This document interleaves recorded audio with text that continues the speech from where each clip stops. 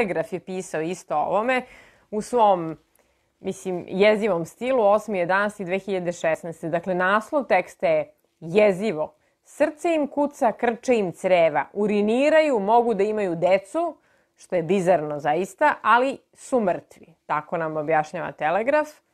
Pa kaže, pacijentima koji dožive moždanu smrt, srce i dalje kucaju, uriniraju, njihova tela se ne raspadaju, topla su na dodir. Krče im creva, rane im zarastaju, mogu da se znoje i crvene i mogu da dobiju groznicu, a čak i decu.